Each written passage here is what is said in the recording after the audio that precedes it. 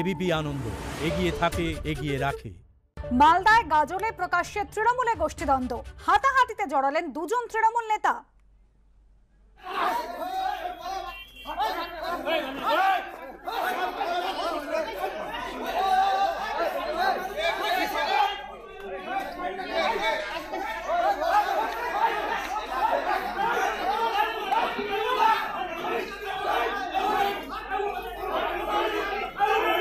অমিত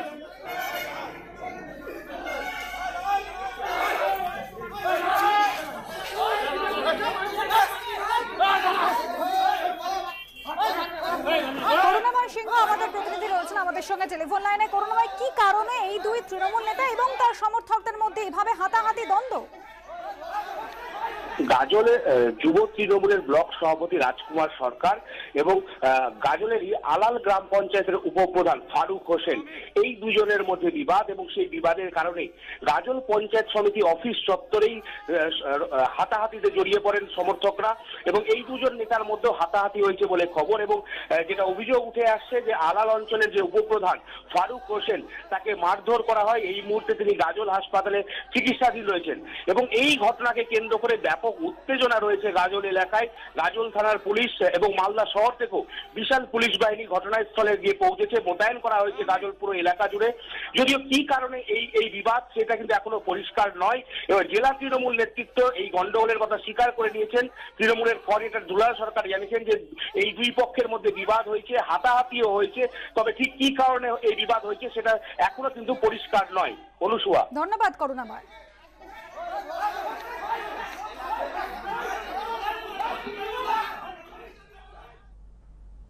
এদিকে রাজীব বন্দ্যোপাধ্যায়কে নিয়ে বিস্ফোরক তৃণমূল নেতা রাজীব স্বার্থপর কেরিয়ারিস্ট তোপ বালি জগাছা পঞ্চায়েত সমিতির কর্মাধ্যক্ষের।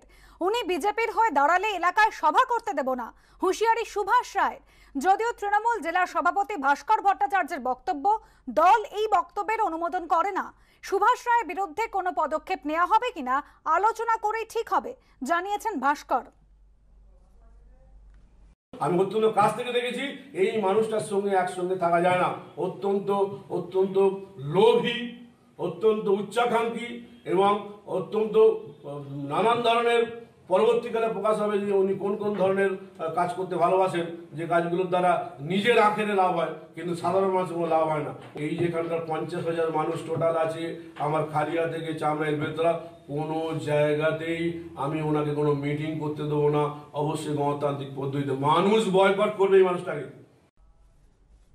প্রথম কথা হচ্ছে এটা গোবিন্দ হাজিরা প্রথম যেটা বলেছেন, সেটাও ঠিক বলেননি।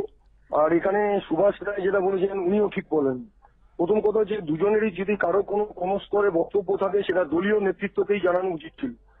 দলের আভ্যন্তরীণ কথা প্রেস মিডিয়াকে না ডেকে বলাই বাঞ্ছনীয় আসছে পরে খবরে। মানুষের বাঁচার অধিকার সব থেকে বড় অধিকার, বাকি সব পরে। মানুষের সুরক্ষা নিশ্চিত করতে না পারলে মেলা বন্ধের নির্দেশ দেওয়া হবে। করোনা আবহে গঙ্গাসাগর মেলা নিয়ে মন্তব্য হাইকোর্টের। রাজ্যকে হলফনামা দিতে নির্দেশ দিল আদালত। আগামীকাল ফের হবে শুনানি। মানুষের জীবন আগে, বিশ্বাস তারপর। তাই প্রতিরোধমূলক স্বাস্থ্য ব্যবস্থা নিয়েই আদালত বেশি চিন্তিত। বিকল্প রাস্তা খুঁজে বের করুন। প্রয়োজনে শুধু জল নিয়েই ফিরে যাবে মানুষ। করোনা আবহে গঙ্গাসাগর মেলা নিয়ে মন্তব্য কলকাতা হাইকোর্টের। করোনা বিধি মেনে গঙ্গাসাগর মেলা করতে একগুচ্ছ পদক্ষেপ নিয়েছে রাজ্য সরকার। নবান্নে প্রশাসনের কর্তাদের নিয়ে উচ্চ পর্যায়ের বৈঠকও করেছেন মুখ্যমন্ত্রী। অন্যদিকে সাগর মেলা প্রাঙ্গণকে কন্টেনমেন্ট জোন ঘোষণার দাবিতে হাইকোর্টে দায়ের হয়েছে জনস্বার্থ মামলা। বৃহস্পতিবার সেই মামলার শুনানি হয় প্রধান বিচারপতি ডিভিশন বেঞ্চে। শুনানি শুরুতে রাজ্যের অ্যাডভোকেট জেনারেল কিশোর দত্ত জানান, গঙ্গাসাগর মেলা নিয়ে কি কি পদক্ষেপ নিয়েছে রাজ্য সরকার। প্রধান বিচারপতি বলেন, করোনা ড্রপলেটের মাধ্যমে ছড়ায়, অনেক মানুষ একসঙ্গে স্নান করলে সংক্রমণের সম্ভাবনা বাড়বে। মাস্ক পরে জলে ডুব দিলে সংক্রমণ ছড়াবে না, এমনটা নয়। আদালতে আসার সময় দেখেছি, বহু পুণ্যার্থী মাস্ক ছাড়া রাস্তায় ঘুরে বেড়াচ্ছেন। যারা উৎসবে যোগ দেবেন শুধু তাদের জন্য নয়, যারা যোগ দেবেন না তাদের ক্ষেত্রেও এটা বিপজ্জনক। দুপুর দুটোই শুরু হয় দ্বিতীয় দফার শুনানি। অ্যাডভোকেট জেনারেল বলেন, রাজ্য সরকারের যে যে পরিকল্পনার কথা আদালতে জানানো হয়েছে, সেগুলি ছাড়া নতুন পরিকল্পনা নেই। প্রয়োজনে কেন্দ্রীয় সরকার নির্দেশ দিক। দুর্গাপুজো ও ছট পুজোর সময় আদালত যে নির্দেশ দিয়েছিল, তাই মেনেই উৎসব করা হয়েছে। প্রধান বিচারপতি বলেন, ছট পুজোর সঙ্গে গঙ্গাসাগরের তুলনা চলে না। তুলনা চলে কুম্ভ মেলার সঙ্গে। ছট পুজোয় এত লোক স্নান করেন না। আপনারা বিশেষজ্ঞ চিকিৎসক, উচ্চপদস্থ কর্তা ও মুখ্য সচিবের সঙ্গে আলোচনা করে হলফনামা আকারে শুক্রবার রিপোর্ট জমা দিন, যাতে আদালত ও সাধারণ মানুষ ভরসা পায়। যদি আমরা মনে করি করোনার হাত থেকে পুণ্যার্থীদের রক্ষা করার জন্য রাজ্য যে পদক্ষেপ করতে চলেছে, তাতে সবাই সুরক্ষিত থাকবেন না, তাহলে গঙ্গাসাগর মেলা সম্পূর্ণ বন্ধ করার নির্দেশ দেবে আদালত। আমরা বিভিন্ন সরকারের নির্দেশনামা দেখিয়েছি, কেরালায় সাবরিমালাকে কেন্দ্র করে তারা কি ধরনের উদ্যোগ নিয়েছেন, আমরা সেটা দিচ্ছি, এটা কোনো অ্যাডভার্সারিয়াল লিটিগেশন নয়। রাজ্য সরকারের সাথে ঝামেলা করার জন্য কোনো মামলা এখানে করা হয়নি। আমরা সবাই চাই যাতে করে সংক্রমণ না ছড়ায় এবং সংক্রমণ না ছড়িয়ে বিজ্ঞানকে স্বাগত জানিয়ে যাতে আমরা এই ধরনের রিলিজিয়াস ফেস্টিভ্যালগুলো ঠিক করতে পারি এবং ক্রাউড ম্যানেজমেন্টটাকে নিশ্চিত করতে পারি। গঙ্গাসাগর মেলা নিয়ে কিছু প্রস্তাবও দিয়েছে আদালত। বিচারপতি অরিজিৎ বন্দ্যোপাধ্যায় বলেন এই পরিস্থিতিতে রাজ্য সরকার বিকল্প পদ্ধতি খুঁজে বের করুক। প্রতীকী স্নানের ব্যবস্থা করা যায় কিনা দেখুক। প্রয়োজনে গঙ্গাসাগরের জল সংগ্রহ করে বাড়ি ফিরতে পারেন পুণ্যার্থীরা। ফের মামলার শুনানি হবে শুক্রবার দুপুর দুটোই শৌভিক মজুমদার এবিপি আনন্দ, কলকাতা। বিশ্বভারতীতে একই সপ্তাহের মধ্যে দুদুবার উদ্বোধন হলো একই রাস্তার। বৃহস্পতিবার রাস্তার উদ্বোধন করলেন অনুব্রত মণ্ডল। নো হর্ন জোনে বক্স বাজিয়ে অনুষ্ঠান করায় শুরু হয়েছে বিতর্ক। ঘটনায় ক্ষুব্ধ আশ্রমিকরা। আর এই নিয়ে তৃণমূলের সংস্কৃতি নিয়ে কটাক্ষ করেছে বিজেপি। পাল্টা জবাব দিয়েছেন অনুব্রত মণ্ডল। রাস্তা একটাই, অথচ এক সপ্তাহের ব্যবধানে সেই রাস্তারই দু দুবার উদ্বোধন হলো। সেই সঙ্গে নো হর্ন জোনে বাইক মিছিল করে বক্স বাজিয়ে রাস্তার উদ্বোধনে শুরু হয়েছে বিতর্ক। রাস্তা ব্যবহার নিয়ে বিতর্কের মধ্যে আবাসিকদের আবেদনের প্রেক্ষিতে শান্তিনিকেতনের কালীসার মোড় থেকে পোস্ট অফিস মোড় পর্যন্ত রাস্তা বিশ্বভারতী কর্তৃপক্ষের কাছ থেকে ফিরিয়ে নিয়েছে পূর্ত দফতর। বিশ্বভারতী আমাদের কাছে রিকোয়েস্ট করে রাস্তাটা নিয়েছিল, তাই তো? আজকে আমি এখানে আসার আগে আমি ফাইলটা সই করে এসেছি। রাস্তাটা আমরা আবার ফেরত নিচ্ছি। তাহলে আশ্রমের যে প্রবলেমটা সেই প্রবলেমটা সলভ হয়ে যাবে। মুখ্যমন্ত্রীর এই ঘোষণার পরে গত পয়লা জানুয়ারি আশ্রমিকদের নিয়ে ওই রাস্তার উদ্বোধন করেন বীরভূমের জেলা শাসক এবং পুলিশ সুপার। এরপর এক সপ্তাহ কাটেনি। বৃহস্পতিবার ফের উদ্বোধন হলো সেই রাস্তার। এদিন রাস্তার উদ্বোধন করেন স্টেট রুরাল ডেভেলপমেন্ট অথরিটির বীরভূম জেলার চেয়ারম্যান তথা তৃণমূলের জেলা সভাপতি অনুব্রত মণ্ডল। টিডাব্লিউ রোডসের রাস্তা। রাস্তাটা কোনো মেনটেন্স হয় না। গাড়ি ঘোড়া যেতে অসুবিধা হয় কাল পরশু ভেতরে টেন্ডার হয়ে যাচ্ছে। রাস্তাটা অনেক চড়া হবে মানুষের ভালো হবে এবং পিডাব্লিউ রোডস এই রাস্তাটা রাজ্য সরকারের রাস্তা। বিশ্বভারতী বেরিয়ে রাস্তা আরম্ভ সব সরে যাবে। বিশ্বভারতী বিশ্বভারতীর জায়গায় থাকবে রোডস রোড রাজ্য সরকার রাজ্য সরকারের রাস্তায় থাকবে। উদ্বোধন বিতর্কের মধ্যেই তৈরি হয়েছে আরও একটি বিতর্ক। পূর্ত দপ্তরের এই অনুষ্ঠানে বিশ্বভারতী চত্বরে হলো তৃণমূলের বাইক মিছিল। নো হর্ন জোনে বাজানো হলো বক্স। এ নিয়ে বেজায় ক্ষুব্ধ শান্তিনিকেতনে আশ্রমিকরা।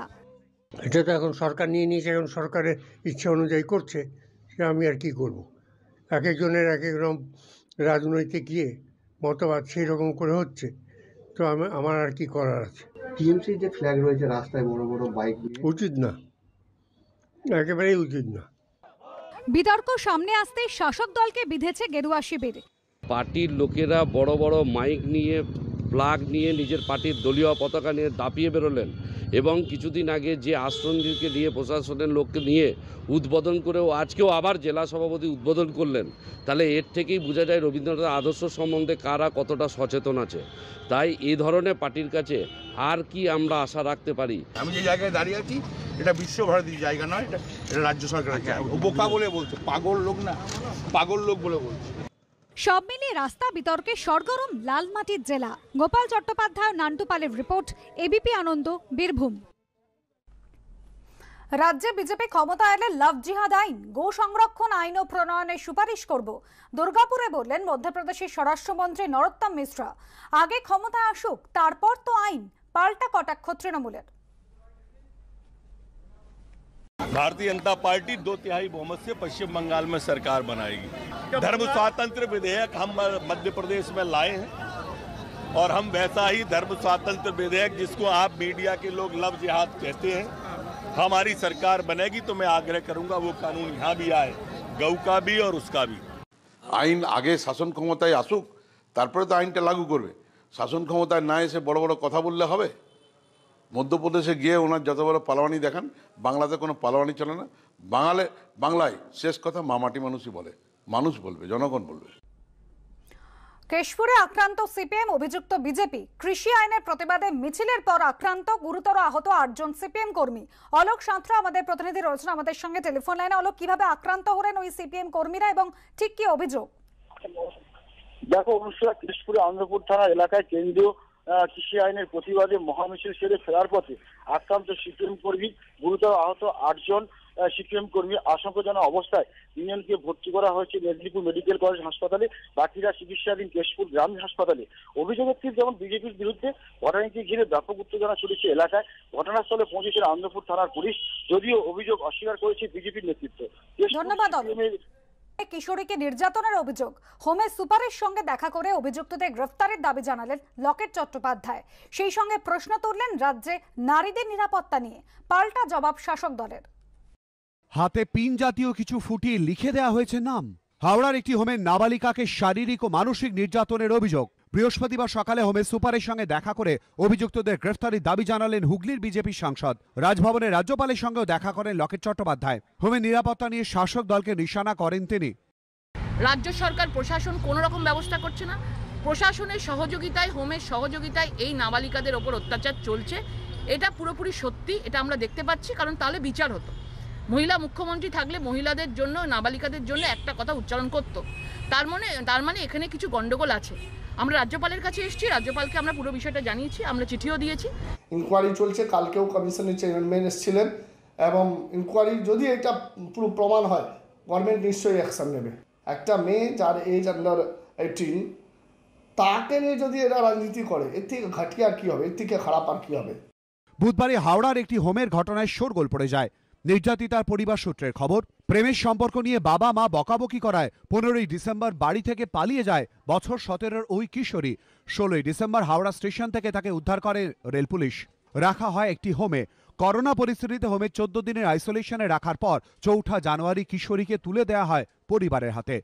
পরিবারের দাবি, বাড়িতে ফেরার পরই দেখা যায় কিশোরীর গায়ে বেশ কিছু নাম খোদাই করা বুধবার রাতে নির্যাতিতাকে সঙ্গে নিয়ে বেলুর থানায় যান রাজ্য বিজেপির মহিলা মোর্চার সভানেত্রী অগ্নিমিত্রা পাল। দায়ের করা হয় এফআইআর। পার্থপ্রতিম ঘোষ ও ভাস্কর ঘোষ এবিপি আনন্দ।